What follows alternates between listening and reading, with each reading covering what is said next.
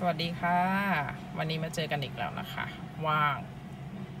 นี่ยวงจอดรถ เอาเหรียญนี้มาให้ดูค่ะ เหรียญนี้ก็เป็นอีกเหรียญหนึ่งนะคะ ที่แอดมินชอบมากเลยนะคะหลวนเหรียญหลวงพ่อหลิวนะคะ วัดไร่แต่งทองนี่ด้านหน้าเป็นแบบนี้ค่ะ สวยไหมด้านหลังเป็นแบบนี้ค่ะ ด้านหลังเขียนว่ามหาลาบแปดเก้า มดไล่แตงทองนี้ แล้วก็เนี่ยค่ะ มันจะมีอักขระยันเป็นรูป แล้วก็เป็นรูปเต่าเนาะสวยมากค่ะ เนี่ยเวลาไปไหนมาไหนก็จะพกตลอดนี่